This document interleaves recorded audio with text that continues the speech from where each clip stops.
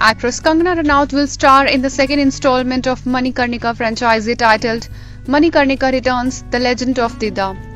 Kangana made the announcement on her verified Twitter account. She wrote, हमारा भारतवर्ष साक्षी रहा है झांसी की रानी जैसे कई वीरांगनाओं की कहानी का ऐसी एक और अनकही वीर गाथा है कश्मीर की एक रानी की जिसने महमूद गजनवी को एक नहीं दो बार हराया लेकर आ रहे हैं कमल जैन और मैं Manikarnika returns the legend of Didda Sources close to the development reveal that the new film will be bigger and mounted on an international scale, adding that the team intends to make a world class franchise of real life women heroes. The idea is to bring forgotten women heroes who have constructed the true identity of Bharat, the sources added. Kangana and producer Kamal Jain will join hands to bring back the franchisee after 2019 Manikarnika, the Queen of Jhansi.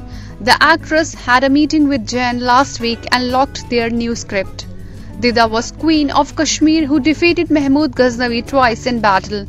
Her one leg was polio stricken, but she was one of the greatest warriors. Kangana plans to complete her ongoing commitments first and then start shooting for the new film in January 2022.